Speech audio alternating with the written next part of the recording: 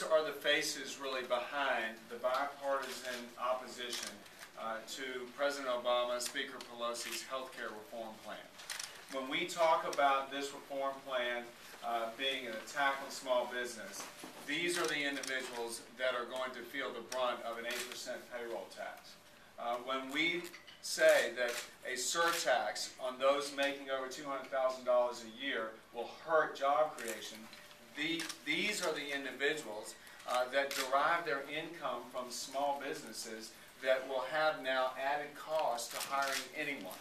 Uh, and that's really the purpose that we're here, is to talk about what they're sensing may be in store for them if this proposal passes, uh, and to hear from them as to what could really work.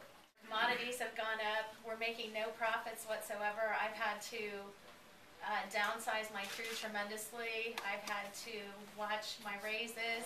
Uh, I, I do provide 100% health insurance coverage for my management, my salaried managers. My hourly employees can't afford it, whether I pay par- partial or not. They don't want it, kind of the same as your boat. They just can't afford it, and they'd rather have that money going towards something else. And uh, if I have to pay a 8% payroll tax, it's going to basically just kill me and my children's future that I have lined up for them, hopefully.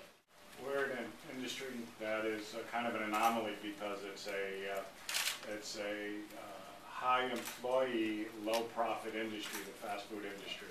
So uh, we have a, a uh, payroll of forty million dollars, uh, and we have to pay an eight percent payroll tax. That gets us over three million dollars. Unfortunately, our company doesn't make anywhere near three million dollars. So we're not sure how we would pay for it. I'm very concerned about the quality of care and access to care. I'm a two-time cancer survivor. I come from a family of cancer victims and survivors that have lived long and hard because we've had a great system that's taken care of them. We have many employees with health care problems. We have children with special needs. They're getting great care, but it's specialized care in the system. I don't mind, and we don't mind paying for good quality care to get them that access to the care because it gives them a better life. It also makes them and their families more productive employees. And the parking of employees in the system, these additional gatekeepers, the inability to get this care, we think there's a lot of value there in our system and we're happy to pay for it. So we don't want to pay the surcharge because we can't afford it, but we also don't want to pay the surcharge and then have the access to care and productivity and quality go down.